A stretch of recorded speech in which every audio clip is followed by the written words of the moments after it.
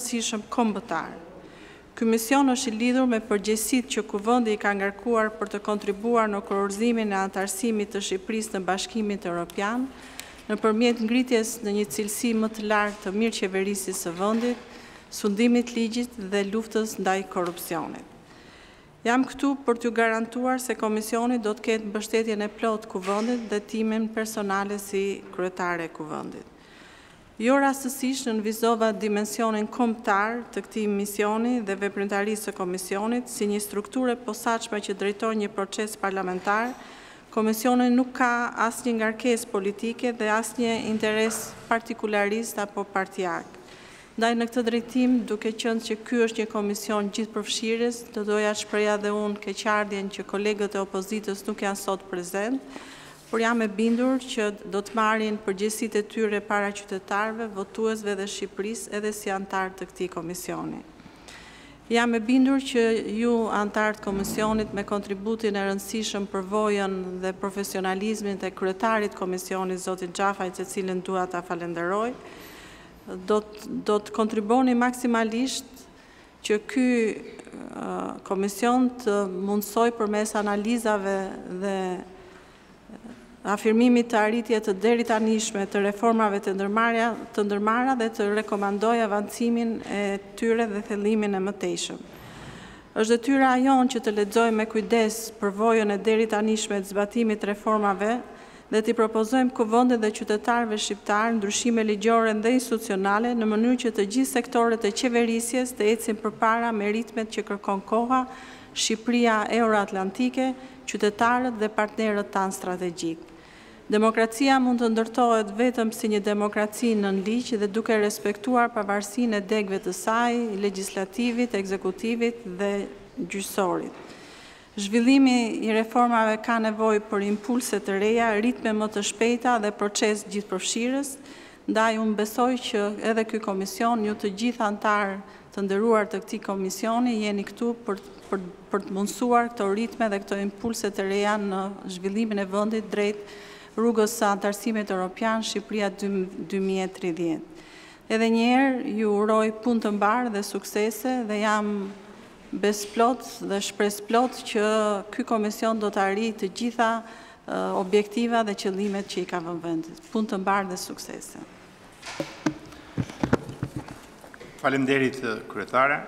për mbështetjen dhe për mesazhet tuaja në këtë mbledhje të parë të komisionit dhe të jeni besimplot se Ky komision do ta justifikojë më së miri përgjegjësinë që i ka dhënë Kuvendi në përmbushje të misionit të tij. Në këtë mbledhje të parë është e pranishme edhe zonja Elisa Spiropali, ministre e Shtetit për Marrëdhënie me Parlamentin. Kontributi i saj në gjithë këtë proces, që në nisje të tij, ka qenë dhe mbetet një kontribut i rëndësishëm, Për veprimtarinë e Komisionit dhe të gjithë procesit gjithëpërfshirës, ekspertëve, grupeve të interesit, shoqërisë civile etj. Për shkak sepse në përmbushje të rolit edhe të misionit të saj në ekzekutiv, Prania, kontributi dhe marrëdhënia me të do të jetë shumë e rëndësishme për lidhjen dhe koordinimin ndërmjet dy pushteteve, pushtetit legjislativ dhe ekzekutivit, i cili në këtë proces pa dyshim është i përfshirë, për shkak të objektit të punës së këtij komisioni, është objekt Nëpër fusha të caktuara është dhe subjekt i rëndësishëm është dhe kontributor në të gjithë këtë mision të rëndësishëm që është si është përtej përtej kuvendit por është një një mision në interes të të gjithë shoqërisë dhe natyrisht ekzekutivi ka një rol përcaktues në këtë aspekt dhe unë shpresoj që marrëdhënia ndërmjet legjislativit dhe ekzekutivit përmes angazhimit dhe kontributit të zonjës Spiropali do të jetë shumë eficient si dhe më parë. Por gjithsesi më lejoni që t'ia kaloj fjalën zonjës Spiropali. Ju falenderoj shumë kryetare dhe uroj ta justifikoj gjithë besimin tuaj, e nderuar kryetare, të nderuar kolegë dhe anëtarë të Komisionit të Posaçëm për Thellimin e Reformave për Mirëqeverisjen, Sundimin e Ligjit dhe Antikorrupsionin për Shqipërinë dy mijë e tridhjetë në Bashkimin Europian, Procesi i negociatave me qëllim anëtarësimin e plotë në Bashkimin Europian do t'i japë hov më tej demokratizimit dhe forcimit të shtetit të së drejtës në Shqipëri, do të nxisë konsolidimin e institucioneve publike dhe vazhdimin e proceseve reformuese, duke përshpejtuar zhvillimin ekonomik dhe përqasjen me nivelet më të mira evropiane të mirëqenies dhe përfshirjes sociale. Metodologjia e re e anëtarësimit kërkon vazhdimësinë e reformave dhe politikave të koordinuara dhe të njëkohshme në të gjitha sektorët, për plotësimin e kritereve të anëtarësimit në Bashkimin Europian dhe detyrimeve që lindin nga MSA-ja. Një nga sfidat kryesore lidhet me domosdoshmërinë për vazhdimin e mëtejshëm dhe thellimin në zbatimin e reformave themelore, duke përfshirë reformën në drejtësi, funksionimin e institucioneve demokratike dhe reformën në administratën publike. Qeveria shqiptare ka udhëhequr një proces kompleks shqyrtimi analitik në Bruksel. Në përfundim të procesit screening janë zhvilluar gjashtëdhjetë e shtatë takime screening dhe dypalëshe në Bruksel për tridhjetë e tre kapituj dhe tre kriteret e anëtarësimit. Janë përfshirë njëqind e pesëdhjetë e shtatë institucione shtetërore dhe tridhjetë e dy institucioneve të pavarura qeveritare dhe të pavarura dhe institucione të krijuara me ligj. Pesëqind e shtatëdhjetë e pesë zyrtarë kanë marrë pjesë në takimet shpjeguese dhe një mijë e katër zyrtarë në takimet bilaterale. Janë përgatitur shtatëqind e shtatëdhjetë e shtatë prezantime të relatuara dhe të argumentuara me rreth njëzet mijë faqe dokument. Janë zhvilluar njëqind e njëzet e gjashtë ushtrime simuluese ku janë trajnuar gjashtëqind e gjashtëdhjetë e një zyrtarë të shtetit. Shqipëria synon hapjen e negociatave për grupin e parë themeloret brenda gjashtë muajve të parë të vitit dy mijë e njëzet e katër. Procesi screening ka pasur rezultat të plotë. Lidhur me hapjen e negociatave për grupin e parë themeloret, institucionet shqiptare kanë punuar paraprakisht për hartimin e dy udhërrëfyesve. Aktualisht janë hartuar, konsoliduar dhe konsultuar me shërbimet e Komisionit Evropian udhërrëfyesi i shtetit të së drejtës dhe udhërrëfyesi reforma në administratën publike që përmenden edhe në rezolutën e votuar nga Kuvendi dhe në vendimin e Komisionit të posaçëm të këtij Kuvendi. Paralelisht me punën për hartimin e piketave hapëse, për, është hartuar edhe drafti i parë i pozicionit negociues për themeloret. Të gjitha këto masa si më sipër janë marrë për të siguruar që Shqipëria të jetë gati teknikisht për hapjen e negociatave, pra për konferencën e dytë ndërqeveritare. Në këtë kontekst, rezoluta për thellimin e reformave të mirëqeverisjes, sundimit të ligjit dhe antikorrupsionit për Shqipërinë dy mijë e tridhjetë në Bashkimin Europian dhe vendimi për ngritjen e Komisionit të Posaçëm me këtë emër dhe me këtë mision, votuar në Kuvendin e Shqipërisë, vijnë si një manifestim i përgjegjësisë dhe besimit tonë se në këtë fazë vendimtare për modernizimin e shtetit tonë duhet një qasje kombëtare dhe gjithëpërfshirëse. Adresimi i të gjitha rekomandimeve të raporteve të Bashkimit Europian dhe procesit screening kërkojnë një analizë, reagim, koordinim dhe veprim të përbashkët institucional. Qeveria shqiptare i ka miratuar të dy udhërrëfyesit e rëndësishëm, por jo vetëm, dhe po i zbaton në përditshmëri si udhëheqëse e këtij procesi anëtarësimi, për të përmbushur detyrimet e procesit të negociatave, dhe për të bërë të mundur që Konferenca e Parë Ndërqeveritare të zhvillohet sa më shpejt dhe pa asnjë vonesë. Në Bashkimin Europian nuk integrohet qeveria, por shteti shqiptar. Ndaj hapësira gjithëpërfshirëse që i mundësohet Kuvendit nga Kushtetuta dhe kuadri ligjor në fuqi duhet përdorur, si një tregues i vullnetit politik dhe institucional të Shqipërisë, pa dallime partiake, për një cikël të ri reformimi në funksion të mirëqeverisjes, sundimit ligjit dhe antikorrupsionit si domosdoshmëri për mbërritjen e objektivit strategjik kombëtar të anëtarësimit të Shqipërisë në Bashkimin Europian brenda vitit dy mijë e tridhjetë. Dora jonë për deputetët e opozitës, kolegët tanë, mbetet e shtrirë. Debatet politike janë të përditshme dhe mbahen mend përkohësisht, Dialogu konstruktiv politik dhe institucional brenda Kuvendit me pushtetet e tjera si dhe me aktorë të tjerë shoqërorë në vend përbëjnë një qasje të re dhe aq të nevojshme për një cikël të ri reformimi, demokratizimi dhe forcimi të rolit të Kuvendit. Kjo është puna që mbetet. Qeveria shqiptare, ministritë dhe institucionet në varësi janë dhe do të mbeten në dispozicion të këtij komisioni për materiale, analiza, të dhëna, ekspertizë, paraqitje, dëgjesa dhe gjithçka mund të lipset në punën tuaj të nderuar. Punë të mbarë Komisionit. Faleminderit. Falemnderit zonja ministre dhe shpresoj të kemi një bashkëpunim shumë të mirë në në vijim, çka është e domosdoshme për suksesin e punës së këtij komisioni. Ka ndonjë nga kolegët diçka tjetër apo ta përmbyllim këtë fazë të parë? Vazhd... Ka ndonjë? Atëherë konsiderojmë fillimin e punës edhe mbarësi dhe sukses. Ndërkohë, meqenëse në cilësinë e kryetarit unë kam pas mundësi që të, të merrem me fazën përgatitore të procesit, edhe kam punuar edhe me stafin e Kuvendit, do t'ju propozoja disa vendimmarrje që janë kryesisht për hapat në vazhdim, që janë kryesisht të natyrës përgatitore, të natyrës organizative, për ta përgatitur procesin për hapat e rëndësishme që janë pastaj analiza, strategjia, plani i veprimit etj etj. Sipas përcaktimeve që ka bërë vendimi i Kuvendit. Kjo edhe sepse nës e kemi të domosdoshme për t'i ndërmarrë këto këto hapat e parë organizativë se edhe koha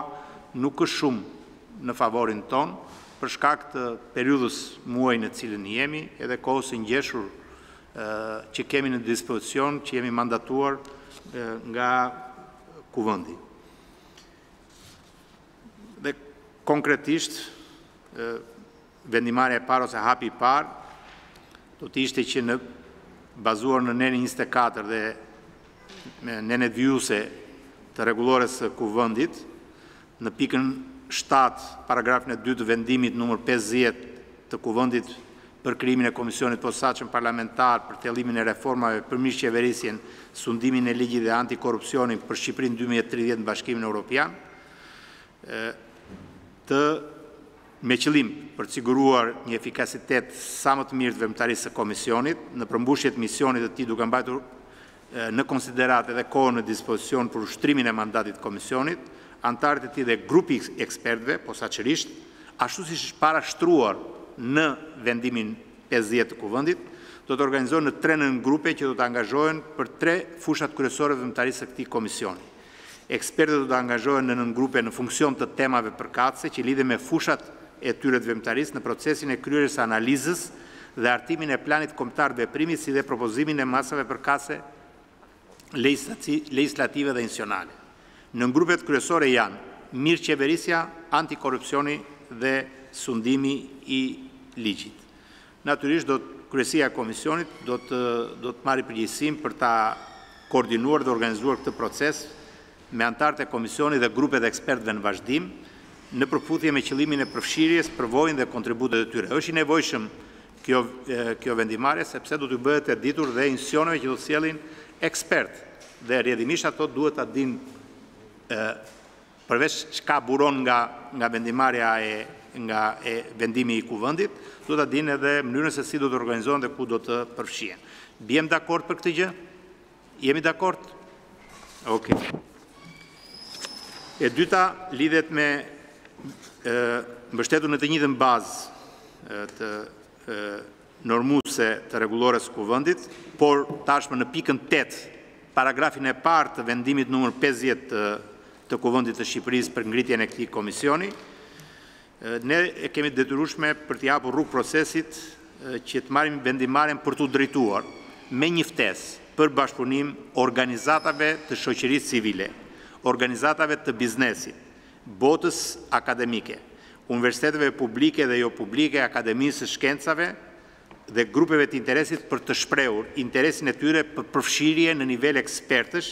dhe në pjesë si pjesë të Sekretariatit Teknik në tryezat e debatit publik që do organizohen, si dhe për të kontribuar me të dhëna të ndryshme, analiza, strategji, plane veprimi,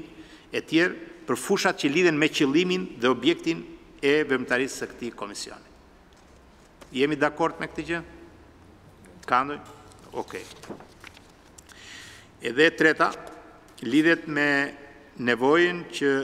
mbështetur në pikën 8 edhe në paragrafin 1 të vendimit numër 50 të Kuvendit për krijimin e këtij komisioni Së pari t'ju drejtohemi institucioneve të pavarura që krijohen nga Kuvendi, duke filluar nga Avokati i Popullit, Kontrolli i Lartë i Shtetit, Komisioni i Prokurimit Publik, Inspektoriati i Lartë i Deklarimit dhe Kontrollit të Pasurive dhe Konfliktit të Interesave, Autoriteti i Mbikëqyrjes Financiare, Autoriteti i Konkurrencës, Instituti i Statistikave etj. Që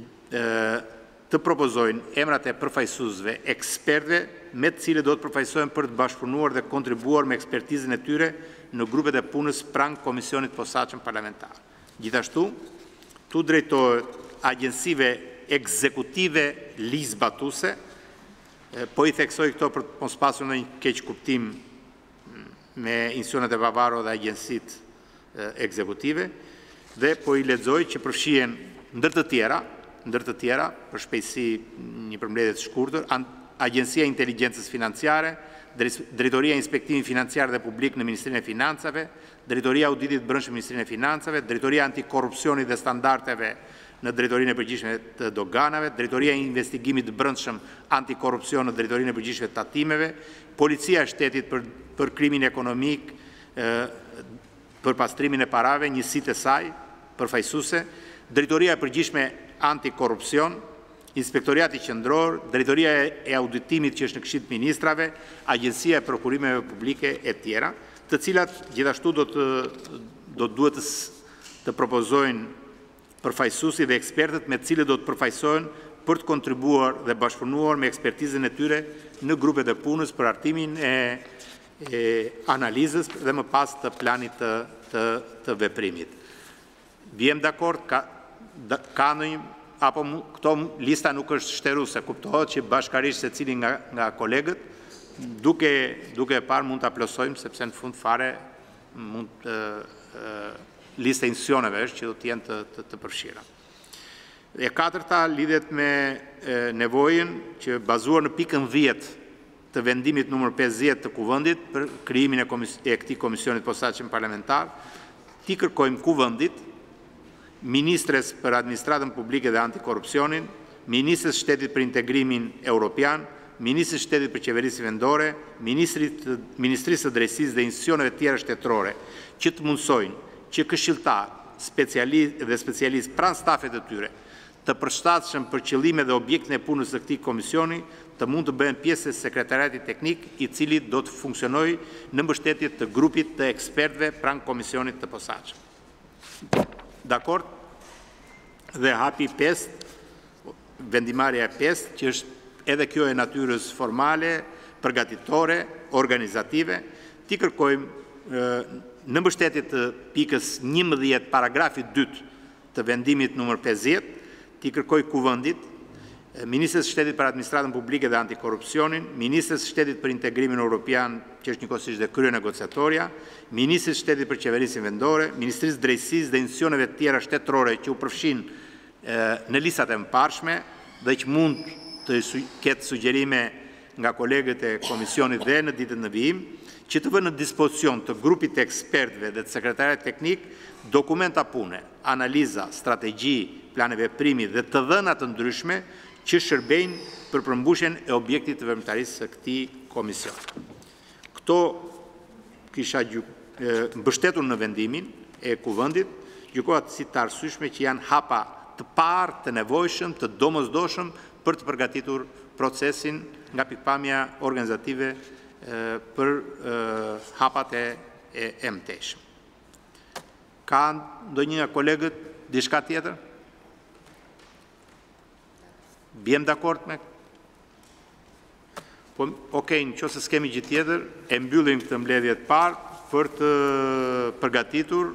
gjithë këtë proces dhe për t'u përgatitur për mbledhjen e ardhshme që besoj mund të jetë javën e ardhshme që për cilën do t'ju njoftojmë. Edhe një herë faleminderit dhe punë të mbarë kolegë, faleminderit zonja kryetare, faleminderit. Mirë, është konstituar kështu në këtë mënyrë Komisioni Anti-Korrupsion i ngritur nga Qeveria, ndërkohë që të pranishëm në këtë mbledhje ishin vetëm përfaqësuesit e mazhorancës, asnjë nga përfaqësuesit e opozitës, të cilët kanë kundërshtuar ngritjen e këtij komisioni të konsideruar edhe si komisioni anti-korrupsion, i cili do të drejtohet